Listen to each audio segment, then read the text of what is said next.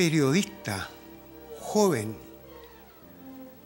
uno de los siete hermanos. Qué familia, ¿eh? La única reina es la mamá, ¿o no? Así es. ¿Cómo está, don Cristian? Gusto saludarlo. Cristian Sánchez, ¿periodista o conductor? Eh, primero periodista. ¿Primero periodista? Sí, sí. Em, yo soy periodista y se me ha dado, eh, después de mucho tiempo, eh, el tema de la, de ¿Cuánto tiempo?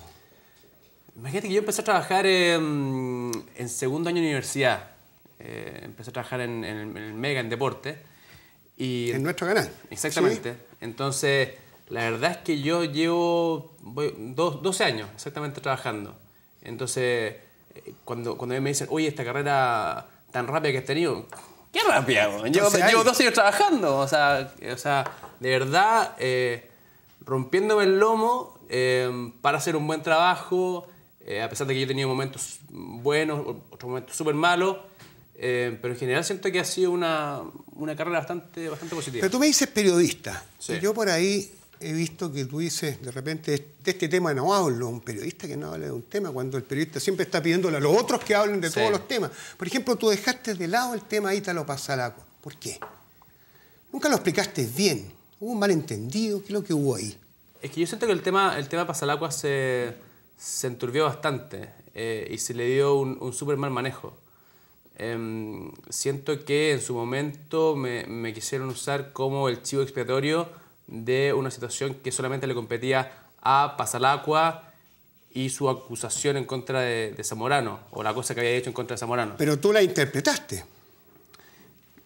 Em, la al parecer la interpreté. Yo, yo perdona, yo, nunca he vuelto a ver el pedazo de eh, la declaración de Pasalacua. Él dice, después empezó a decir que había hecho que eh, eran videos con actitudes poco santas. Pero como te digo, si él lo dice, ok, quizás yo lo interpreté, pero la verdad yo nunca he vuelto a ver el, el video original de ese día, de la declaración que había hecho pasar la ¿Tú lo interpretaste cuando hablaste con... Con la Canita. Con Canita Larraín telefónicamente, dentro del programa de la mañana. De la mañana. Claro. Exactamente, bueno, eh, y yo se lo pregunté a la Canita... ¿Pero tú crees que hubo algún error de interpretación? Eh... ¿Tú crees haber cometido algún error? Yo creo que no. Eh, porque y por lo mismo no, me quise meter en la polémica, porque siento que, que, me estaban tirando la pelota a mí, siento que yo no tenía nada que ver. Era un asunto entre Pasalacua, eh, su boca, ¿cachai? Y lo que haya hecho de Zamorano. Entonces me, da como en el ata que, se, que se ocupara una interpretación eh, que le pude haber dado yo y que fue la misma que le dio quizás todo el país a la declaración que ha hecho, que ha hecho Pasalacua. ¿Nunca te has encontrado con él después? Mm, no. ¿Y has tenido noticias de opiniones de él acerca de tu interpretación? Eh, justamente, eh, fue, fue, bueno, esto fue el 14 de febrero, el 15 de febrero. Eh, durante el Festival de Viña también obviamente le, preguntaban, después apareció el director de Buenos Días a Todos también hablando. Entonces, por lo mismo yo dije, ¿sabes qué? En, esta, en estas polémicas media... ¿No te gustan las polémicas? No. No, ¿ah? Y lo que pasa es que... Es que, siento... es que la televisión está tan llena de polémica y tú estás en el centro de la televisión. Tienes programas en la noche, tienes programas en la mañana, estás muy vigente en este sí, momento. Sí, pero, pero por lo mismo. O sea, yo siento que eh, la televisión está súper turbia, está sucia. Entonces, yo desde la pequeña plataforma que pueda tener, de verdad estoy casi, casi en campaña de, eh, viejo, limpiemos la televisión paremos de atacarnos, paremos de hablar mal de otro. Quizás yo también alguna vez hablé mal de, mal de alguien, y, pero, pero, yo no lo hago por hablar mal de alguien, de alguien sino que principalmente por, en, el tono que tengo, pegarme alguna crítica, sí, pero con, con ironía, con una cosa más, más, simpaticona, no, no una cosa destructiva, que siento que hoy le está haciendo súper mal a la, televisión. O sea, eh, ya el, hoy el que, el que tira más mierda es el más lloro. ¿cachai? Es como cuando eres cabro chico, el que, quebraba más foco era, era como el líder del grupo. Entonces, ¿para qué, viejo? O sea, de verdad yo siento que estoy en, otra parada, hoy. ¿Tuviste antes en la misma? No, creo que, creo que nunca estuve en esa, en esa parada como de francotirador. De, Pero la pantalla abierta descalificaba y se reía de repente de personas importantes del país. ¿eh? pero que nosotros ironizábamos justamente con, con temas reales, con temas políticos, con, con casos políticos que eran, eh, eran de hecho. Entonces, viejo, cuando veis situaciones que son impresentables para los que dirigen los destinos de tu país, como se puede decir eh, eh, ahí, uno puede, o sea, ahí uno puede reírse, ahí uno puede ironizar, pero por eso te digo que no es una crítica por destruir al otro, sino que solamente como por dejar súper claro, dejar patente que la situación que, se está viviendo eh, es realmente patética. ¿No te gusta la farándula? Me entretiene. ¿Pero consideras que en ella hay demasiada descalificación? Sí. Hoy está, está, está de moda. Está de moda descalificar y, y, el, y el latero. Y lo peor es que nosotros mismos, tanto la prensa escrita como la televisión, eh, le, le damos espacio a eso, a mí lo que me da lata es eh, tener que estar siempre en la defensiva, incluso en, en, la entrevista. Yo siempre que, doy entrevistas eh, estoy súper medido en las cosas que digo hoy, antes no, por eso siempre que yo hablaba dejar alguna cagada, eh, porque cualquier cosa que digáis, pa, llegan y le preguntan al otro. Y, y, se crea esa, esa polémica que es súper inventada, que es súper inflada, que de repente uno lo dice con un tono ¿cachai? Que es de juego. Hay un, y la cosa como que prende así. Hay una nueva clase social, entre comillas, en la televisión, los opinólogos. Ya. Y tú participas con los opinólogos que hay en todos los canales. ¿Tú crees que ellos le han hecho bien o mal? Siento que los opinólogos cumplen un rol bastante democrático, en el sentido de em, que representan muchas veces el pensar de la gente en la casa. O sea, ellos opinan desde ese rol, creo yo o, me gustaría pensar que la gran mayoría de ellos eh, cumplen ese rol de, representar el pensamiento de la gente. No todos lo representan. Eh, no, no. Hay quienes lo hacen bien y quienes lo hacen mal. Eh, mira, esta no es descalificación, quienes lo hacen bien y quienes lo hacen mal. Chuta, que me guste. ¿Sí? Eh, yo, encuentro que eh, Jordi Castell lo hace súper bien. A mí me gusta mucho la mirada que tiene él y siento que es un tipo... Pero ese es de tu canal. Súper decente en los comentarios. ¿De tu canal? Sí. ¿Y otro canal? Eh, a mí me, divierte mucho baile. Andrés Baile. Sí. Me, me divierte mucho. ¿Tú eres irónico o desordenado? Parezco desordenado. Tengo look de desordenado. Pero soy súper metódico. Eh, me, me gusta igual eh, provocar situaciones, eh, entonces por, eso es que realmente me, me alata en la, en la entrevista cuidarme tanto. Porque siento que al final uno termina hablando como futbolista, ¿cachai? Con, esa, con esas frases hechas. A ver, a ver, pero está bien, tú quisiste ser Con, con mucho respeto, porque tú, yo, tú yo quisiste ser futbolista, tú jugaste en en la división inferiores. Por eso te digo que lo digo con mucho respeto. Pero eras muy malo, parece era muy bueno. De hecho, soy el único, el único jugador que, que, en la camiseta no tenía un número, tenía una letra. Una letra T de talento. Te lo juro. Pero, ¿y qué pasó entonces que no, no hicimos el eh, gol final? Arrugué. ¿Arrugaste? Sí, arrugué. ¿Preferiste el periodismo? ¿Tuviste miedo a que te fuera mal? Tuve miedo. O sea, yo en cuarto medio estaba con, con estaba pololeando, estaba con el área de la pura aptitud en esa época. Eh, y estaba con esta, con esta cosa del fútbol y estaba con muchas cosas, estaba demasiado ocupado y tuve que eliminar una de las tres cosas. Y usted por eliminar a la polola. y la cagué, Era una excelente polola, era súper simpático. ¿Y el fútbol también? Y el fútbol al final de año igual lo, igual lo abandoné. ¿Tú aprendes de los fracasos o te molestan mucho? Eh, yo espero, espero aprender. Por ejemplo, el programa ADN en que no tuviste buen resultado, ¿fue para ti una experiencia o una derrota? Ah, no, yo hoy lo tomo como, eh, como una experiencia de todas maneras.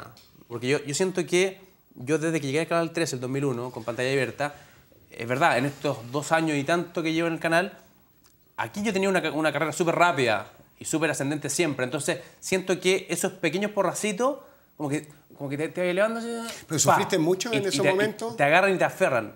¿En esos momentos de programa sufriste mucho? Sí, pues lo pasé mal. Lo pasé súper mal. O sea, eh, ¿Pensaste en algún momento que no servías para la televisión? Em, no, la, verdad yo, yo, me tengo harta fe. ¿Pero te cuestionaste mucho también en lo personal? Em, pensé que, en algún, o sea, en algún momento yo pensé que eso podía significar el hundimiento de mi eh, naciente carrera profesional. Tanto es así, Cristian, que tú trabajas con tu padre, con Jaime, ¿Mm? En una empresa comunicacional que tiene usted, y tú hiciste un estudio.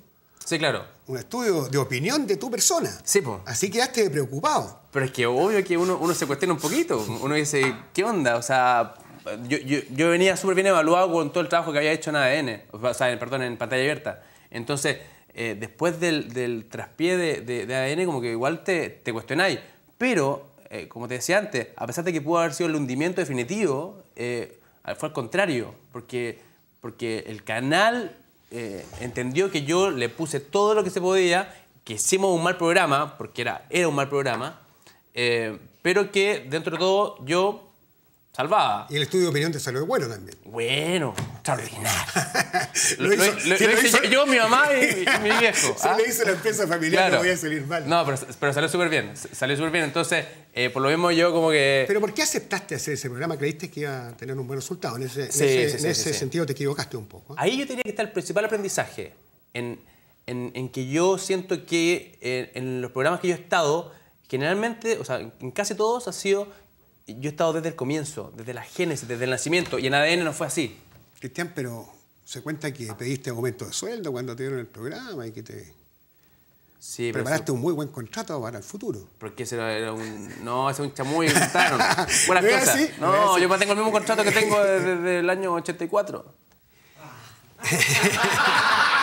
bueno, eh, Seriamente, ¿es verdad que pediste un aumento y firmaste un nuevo contrato para...? Pero que, no, es que, es que, lo que pasa es que justamente me tocaba, me tocaba la renovación de contrato como le toca a ah, todo el ah, mundo. aprovechaste de ser nombrado en este programa para... O sea, no, no, hubo, no hubo nada nuevo con respecto, con respecto a eso. Me, me, me, tocaba renovar el contrato y yo dije, bueno, negociamos al tiro.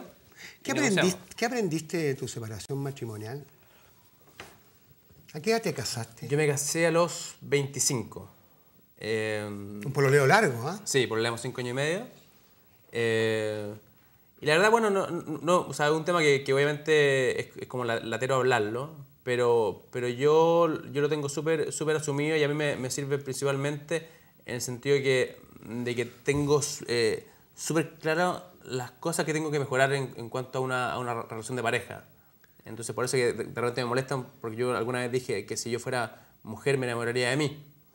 Eh, porque, porque yo siento que ahora estoy súper bien, ¿cachai? O sea, que, que estoy, que, estoy viviendo un, un, buen momento.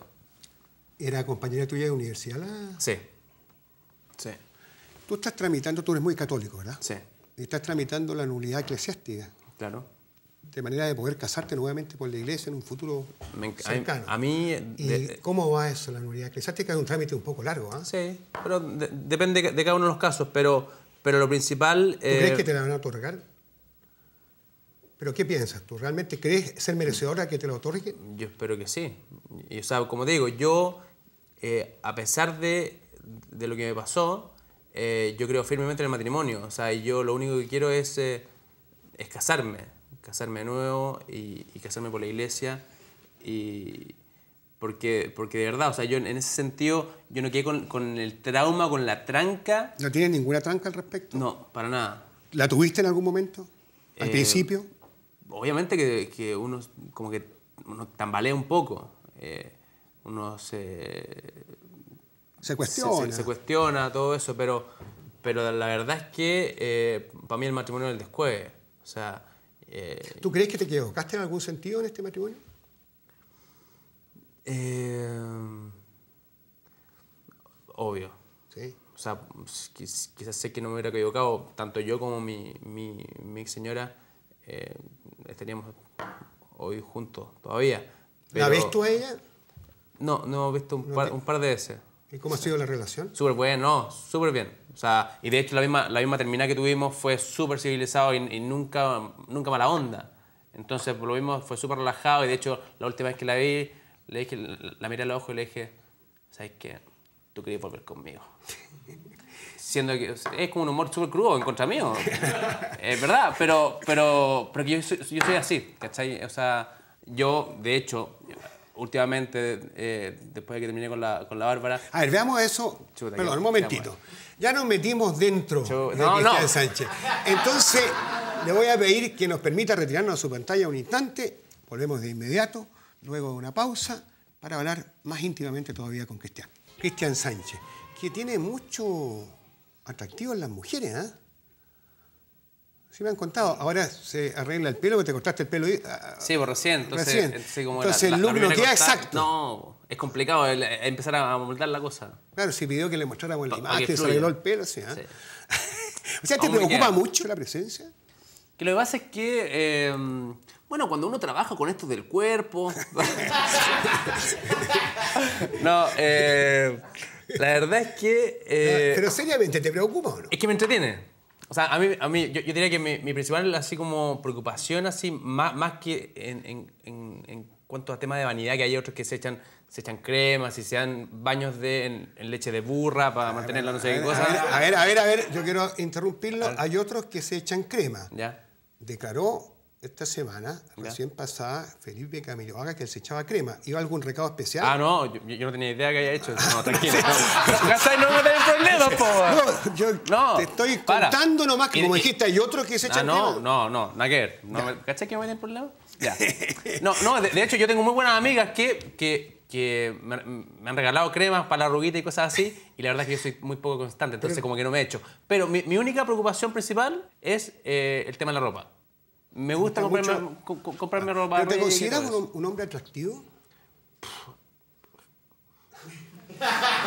Eh, no, es que yo, yo siento que mi principal atractivo va, va por el tema de la personalidad, más que por, por un tema de look o de pinta. O sea, eh, yo, yo en la fiesta cuando éramos cabros chicos, a mí me iba bien con las mujeres principalmente porque era el compadre que rompía el hielo. ¿Te, acu- te iba a decir, ¿te acordáis?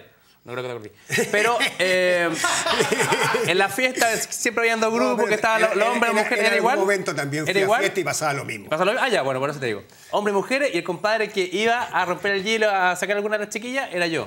Oye, Cristian, ¿por qué te gusta ventilar tu romance en forma pública? No me gusta, po. Si la he embarrado no. Lo hemos sabido todo. Re- Recién, antes de ir a, a la pausa, nombraste a Barbarita Rebolledo, a quien conocemos y hemos Sí. trabajado con ella.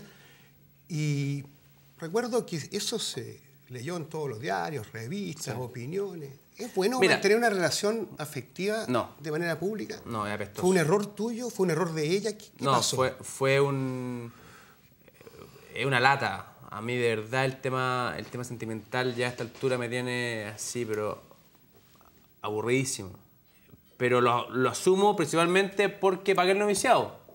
Eh, Pero es cómodo andarse escondiendo también. No, porque lo que pasa es que uno, uno, o sea, yo nunca he dejado de hacer algo por ser, eh, por ser una persona más o, más o menos conocida, ¿entendiendo? O sea, yo no estoy ni ahí con el hecho de andarme escondiendo, de, de usar, de usar anteojos oscuros o de irme al, cajón del Maipo a vivir, ¿cachai? O sea, yo no estoy ni ahí con eso. Yo hago mi vida totalmente normal. Eh, existe la sensación de que yo he hablado mucho con respecto al- a mi relación con la Bárbara. Y la verdad es que no es así.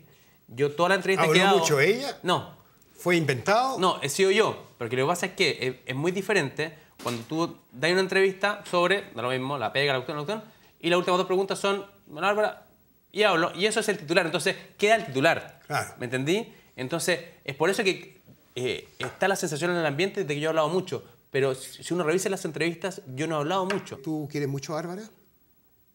Eh, o sea, imagínate que yo la, la conozco hace... Desde los tiempos hace universitarios. 13 años. Claro. Entonces, yo tengo una, una relación súper buena con ella, hasta el día de hoy. ¿Te gustaría reconciliarte? Eh, o sea, ¿Es esa la mujer que te gustaría para el matrimonio que tú sueñas?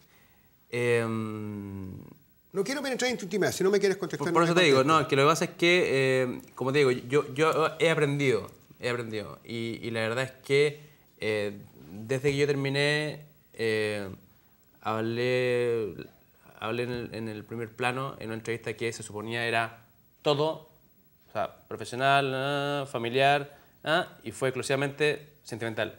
Apareció una entrevista de 11 minutos solamente de La Bárbara. Entonces, por eso que yo he aprendido y la verdad es que yo, con respecto al tema de La Bárbara, estoy hasta... Me imagino, desgraciadamente aquí en el diario hablar dice que te reencontraste con más. ella ¿A dónde? en el Liguria.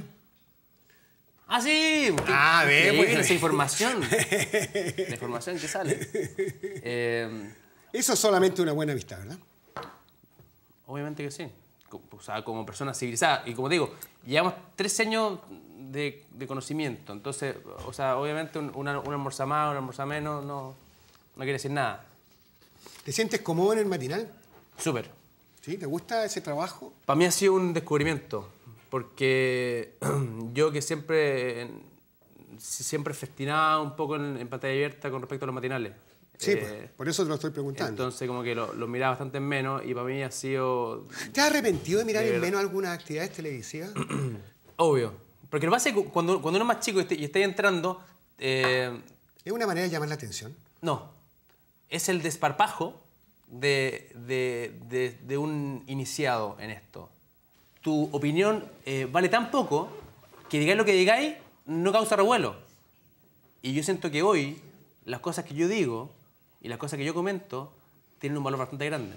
Hoy soy mucho más responsable de las cosas que digo, porque sé que tienen peso, sé que tienen valor, sé que importan, aunque quizás no son tan importantes, pero se les da ¿Y importancia. a qué responde estos coqueteos en pantalla?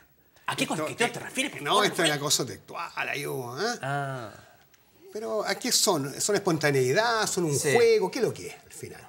¿Es en serio? ahí, ahí me, me ¿Es deberían haber puesto sobreactuar o no, y así como el happening cuando ponían sobreactuar o no. y- ¿Es una sobreactuación? Fue una sobreactuación. Eh, Te lo juro, o sea, es, es parte de la espontaneidad, pero fue, fue mucho. O sea, Pasó eh, el límite. yo encuentro. yo- o sea, yo- ¿Te arrepientes un poco de yo, eso? Yo me hago la crítica. ¿Te arrepientes? Eh, lo que pasa es que, es que pasó, pero, pero igual para mí fue, fue un, un cuestionamiento posterior, digamos, el hecho de decir, ¿sabes qué? ¿Para qué tanto? O sea, igual podría haber hecho algún, ju- algún jugueteo, todo bien, pero era, era mucho. Y el coqueteo con la Carlita en el matinal, eso es parte del juego. Sí, digamos. o sea- Una cosa un poco preparada, jugada. Es que lo que va a ser, no, es que lo que va a ser preparada, esa palabra, Alfredo, no me gustó. Porque no está preparada, nace. Surge. Ya, porque lo que pasa es que el, el- mismo coqueteo que yo tengo con la, con la, con la Carla, yo, yo también tengo una, una onda especial con, eh, con, con I- con- con Iván, que nosotros dos nos, nos molestamos y, y nos pegamos codazos y, y somos como dos pendejos que en el colegio. Entonces, claro, obviamente, eh, si se pusieran eh, que heavy el coqueteo entre Cristian Sánchez y Iván Marzuela sería bastante más heavy. Te lo voy a poner igual como lo he escuchado. Hay gente joven como tú que está peleando un espacio en la televisión con las mejores armas y con todo Ya. derecho. Algunos me han señalado, Cristian Sánchez fracasa en ADN y le dan una gran oportunidad en el matinal. ¿Tú la consideraste injusta también como oportunidad en el momento que se te ofreció? Chuta. Yo encuentro que. que para nada. O sea. Por eso te lo el- pregunto. El, el canal, yo siento que tuvo una confianza súper grande en mí, principalmente por todo lo que yo había hecho en pantalla abierta, en amenaza real también, que, que yo junto con ADN estaba haciendo amenaza real Sí. y estaba súper bien evaluado y no estaba viendo el descueve. Y incluso con el tema de ADN, el canal también eh, sa- sabe que yo el programa lo hice todos los días, a pesar de que estaba súper achacado yo, el programa en pantalla yo lo hice siempre poniéndole todo. Entonces, por lo mismo encuentro que es que es súper injusto que diga que alguien pueda comentar eso. Y, y siento que es un, un ataque de envidia eh, que, que- que actualmente estoy comenzando a sentir. ¿Estás empezando a sentir Sí. envidia en el medio? Sí. Porque lo que pasa es que cu- cuando eres un pendejo que, que, entre comillas, no, no- no le he ganado a nadie, eh, pasáis piola. ¿Tienes competencia o te gusta o te disgusta que te comparen con Sergio Lago? No, va nada, va lo mismo. ¿Encuentras Va un lo buen mismo. animador? Buenísimo. O sea, yo diría, está Sánchez, eh, Sánchez Camilo Galagos, Rafa. Perdón. Segunda vez que mete a Camilo Haga, yo no he dicho nada. No, para. Pero si lo encuentro, bueno, ¿qué quieres que te diga? No, está bien, está bien. ¿Cachai? O sea, un tipo súper completo. Oye, también, ¿y pues, esto, de la envidia que estás sintiendo, te complica un poco? Me da lata, me da lata, porque, porque siento que obviamente de- destruye y es injusta. O sea, como te digo, yo llevo dos años trabajando. O sea, no me digáis que tu carrera ha sido meteórica en... en- Viejo, llevo dos años trabajando y he hecho de todo. Entonces, ¿Qué te hace ser un buen periodista? ¿Te consideras un buen periodista? yo me considero un súper buen periodista. ¿Qué te hace? ¿Por qué crees yo, que eres yo un siento, buen periodista? Yo siento que soy un buen periodista porque, porque hago la vega bien. Yo soy, a pesar de lo, que hablábamos antes, del, del, tema de parecer desordenado, soy súper Mateo, soy súper riguroso. Y, y, pregunto lo que hay que preguntar y nunca me chupo. Nunca me quedo con, con, la, con la, pregunta acá atrás. Siempre. ¿No te parece que en esta cosa un poco de payaseo de repente se empequeñece el buen periodista y da paso un poco al payasito de turno? Es que no, no el payasito, es, es justamente, eh, al principio me preguntáis, periodista o animador, eh, siento que eh, es, es, parte de eh, el complemento, ¿cachai? Para ser un, un, un, animador, el después de tener la base de periodista. Yo hoy no me considero un animador, yo me considero, me considero un conductor de un, del Día de la Mañana y de la amenaza, de la amenaza real, pero, pero la verdad es que eh, siento que, es parte del complemento. Y no, no es el payaseo, sino, sino, que es la parte más, más lúdica, pero siempre con la información, con, con la información de fondo, que, que es la base para... O sea, yo siento, yo siento que... O sea, tú al, te preparas para cada programa especialmente con los invitados que van a ver, lo que... Pero de todas maneras, o sea, y de, de hecho yo llego... Tú, tú, sabes que la impresión que da es que como que llegaras a última hora y entras ahí, ¿no? Bueno, por eso te digo, por eso te digo, pero yo, eh, para tener esa actitud tan desordenada, entre comillas, es porque me, me sé todo el programa, todos los invitados toda la información que tengo que dar. Y es porque yo llego a un cuarto a las 7 de la mañana, una hora y cuarto antes del programa, a leerme todos los diarios. A pesar de la reunión de pauta el día anterior, y a pesar de, de la lectura de diario del, del, día anterior, y a pesar de que estuve en la radio el día anterior, y el manejo de información que tengo, llego una hora y cuarto antes del programa para leerme los diarios de ese día. Entonces, viejo, tengo un manejo total de la situación y es eso lo que me da la libertad de poder hacer lo que yo quiera y con la soltura que tengo. Es complicado los matinales, ¿eh? un cuarto para las 7 de la mañana ahí. ¿Mm? O sea, eso impide salir de noche durante la semana. Tengo una vida uh, súper... Eh, tan monacal. ¿No, no carreteas? ¿Ah? ¿No carreteas? Porque, bueno, no. la levantada temprano yo creo sí, no, que... imposible, imposible. ¿no? O sea, Entonces, yo, yo... Y eso te impide por los leos también, porque... Se pololea sí, más de noche que de día. Agradezco tanto estar en esta situación hoy. ¿Por qué? Porque, no, porque claro, no, no, hay tiempo para nada. No hay tiempo para nada, la verdad. Eh, es súper difícil porque yo generalmente me, me, me, acuesto cerca de las 12 de la noche eh, y duermo sin hora y tanto. Y, y, bien, pero, pero en general hay, claro, hay poco tiempo para tener vida social. Entonces hoy, hoy estoy, estoy viviendo principalmente enfocado en el es en un la hombre, pega. pese a lo que se ve de ti en pantalla, un hombre sentimental, sí, sensible. Súper sensible. Romántico. Bien cebolla, bien ¿Sí? chulo para la música, sí. ¿Te gusta la música? Me gusta Luis Miguel. ¿Qué hace llorar? ¿Te gusta sí, Luis Miguel? Sí, me corto las venas y todo ¿Sí? sí eh, no, eh, me entretiene, me entretiene la, la, la música así y, y, y, es choro. O sea, y, y me encanta cantar. O sea, yo soy de los enfermos que, que vayan al auto y voy cantando a todo chancho. Eh, y, me gusta. Y, y, de hecho me entretengo conmigo. O sea, es como Forrest Gump. ¿Te cuesta? Como que me entretengo conmigo mismo, es muy rara. ¿Te cuesta expresarte de repente? ¿Te cuesta buscar las palabras? ¿Te cuesta un poco? Es que es, es parte de, eh, de el freno que he aprendido a tener. Eh, Eres un poco acelerado tú como persona. Soy acelerado, súper. Súper acelerado. Eh, y, y yo te digo que tengo ese freno exclusivamente para no seguirle embarrando. Porque al principio yo era todo así. Me preguntaba cualquier cosa. O sea, oye, eh, dime eh, un opinólogo que te caiga mal. Te lo tiraba. Hoy no. Un perfil de Jimena Moya de tu personalidad. ¿En serio? Hay muchas cosas bastante privadas y que te, va, te van a gustar lo, mucho. Lo leo, ¿no? Ah, no, no, no. Yo te puedo agregar algunas ver, cosas. ¿qué más te puedo adelantar. Yeah. Sufrido en el amor, dice. ¡Uda, qué novedad! Se supera en sus errores que han sido por falta de reflexión. Para, y esto es... Será un aporte al mundo de las comunicaciones. Llegará muy alto. Sí. Busca siempre el apoyo de su familia. Yo creo que todo es, es coincidente. Sí. Ahí viene mucho más explicado. Y el después, muchas gracias. De Mimisa Petrich, este recuerdo. De bueno. para que escuche música moderna con Gondwana. Bueno, se la, se la y este a, ramo este, de flores. Diego Muñoz. ¿Ah? Y este ramo de flores de Isabel Callazo, ¿a quién se lo mando? ¿A Bárbara Rebolleo o a tu mamá? Ese es para mi madre. ¿Para tu madre? Por supuesto, de todas maneras. No vaya a cambiar cuando baje del estudio. ¿eh? No, tranquilo, tranquilo, tranquilo, tranquilo. Gran mujer, muchas gracias. ¿eh? muchas gracias a ti, te agradezco tu gentileza. Muy y amable. Muy amable por haber estado con nosotros. Si Dios quiere, nos vemos la próxima semana. Chau, chau. Unforgettable.